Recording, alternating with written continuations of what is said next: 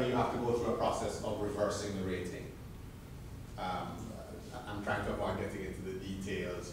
Well, when you look at the matrix, you, you, if we look at the matrix, you'll see. I just like to out the meaning there. What Oh, the meaning, it, it just means that I, that in the process of matching to see consensus, the ratings were reversed. So I used a mirror image of it.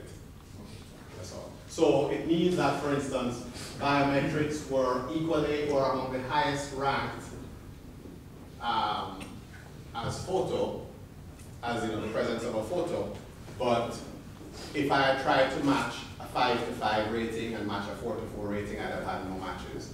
However, what I had was wherever I had a five in photo, I had a one in biometric. So it, it just means that I had to reverse the ratings of the biometric for the purpose of the consensus matching here. So all your experts agreed that it was not important. All the experts agreed that it was, that it was equally unimportant as, um, Photos. as photo is important, exactly. so R basically means it's unimportant. Yes, right. Although it is, there's a lot of consensus that it's unimportant, right? Yeah, the R means unimportant, right? Isn't that a little bit unintuitive, that advanced biometrics would be considered unimportant? It was, that was one of the surprises for me, that people wouldn't be interested in having biometrics on a You're saying if you had DNA things on your ID Yeah, however, this is the first scenario. That doesn't count. Yeah, this is the first scenario, which is the low-tech scenario. So they, they sort of said, well, low-tech, this, you know, advanced biometrics. Oh, you wouldn't believe automatically- it. I see. You In a wouldn't low-tech believe it. environment. It's a low-tech, it's on a paper driver's license. and, uh, Right. I see. You know. Um, the second scenario, um, that's the high tech, no high tech, but still weak authentication. Um, you see that the, the cluster, the highest uh, consensus cluster, cluster now is the issue of reliability, the date issued and the date of expiry. Um, and here, again, both the highest rated and the highest consensus now seem to be more related to data quality than they are to, to physical characteristics of the person. Presumably no, because remember, high tech assumes that you may have a digital document and you may have a virtual person. So the person may not even be there. So now they rely on data, not on physical features, which, which makes sense to me. Roman had a question. Oh, yes, sure. I'm sorry. Biometrics doesn't seem to show up in any of the fold. No, it doesn't, it doesn't, which as I say was a surprise for me. Uh, Hey, theory, why? Why? I'm talking to these people, yes. Yeah, I am, I am. Um, and I asked, I I actually asked the security person about that, and his comment was, he said, you know, biometrics is nice and all of that, but it's too easy to copy data, especially when you're in a virtual, virtual document uh, environment. You can copy the data and nobody has any idea. Um, Does it have anything to do with like, um, people don't like to use fingerprints for encryption as well? Because it's not a local, you can't hold the key. Say a little bit Yeah. louder. They don't let let you use fingerprints for let you use encryption? biometrics for encryption for, as your key, because you can't revoke it. You can't, you, you can't issue a new key, you can't take away your fingerprints and give you a new one. DNA is forever, yeah. Yeah, right. Yeah. But I mean, that was, that was a comment I actually had from one security person. He said he doesn't like, although he's a high-tech guy, he says he doesn't like biometrics because it's too easy to copy the data. That's actually, that's actually a good insight, because if you, if I, if someone has tampered my password, password, then I can change the password. If someone actually stolen my DNA information, then it's gone, I can. That's right. I can't do anything. That's right, that's right. Um,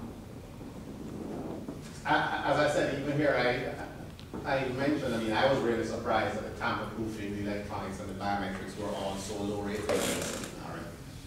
Um, But I guess it goes back to that comment from that one person who said, you can copy data.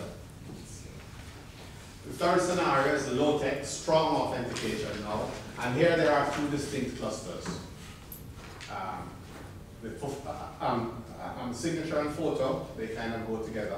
Low-tech now means essentially that you have a physical document, a physical person. Um, strong authentication means a single issuer, you have, you can trust that the document is tamper-proof, and so on. So now, Um, again, the dates, the date of issue and the date of expiry, those come up as being very important in this scenario, as do the signature and photo. Although all of these are part of, a, of one general cluster, which is about eighty-five percent. But there are two distinct clusters in here as far as the consensus is concerned. So what I've done is I've tried to, I've tried to overlay the rating, because I have these in order.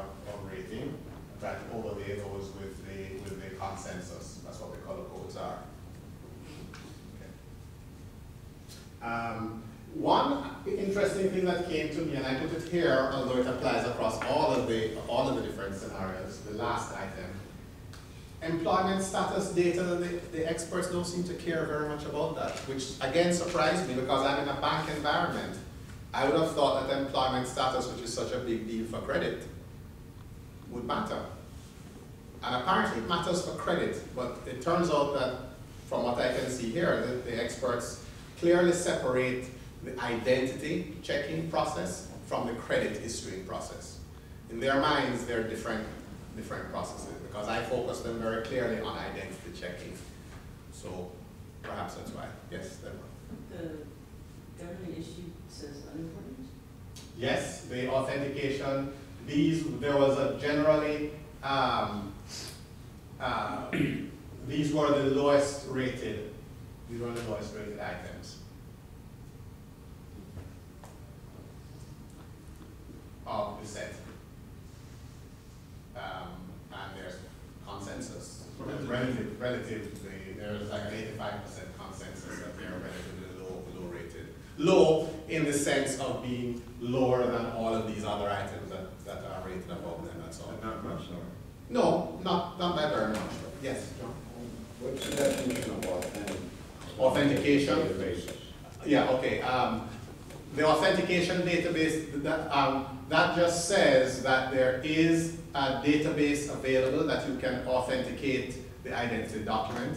If it's, if it's a strong authentication environment, then it's available real time. If it's a weak authentication e- environment, then it's available, maybe you have to wait twenty-four to forty-eight hours, or you have to send an email or make a call and wait for an answer. So that's, so the authentication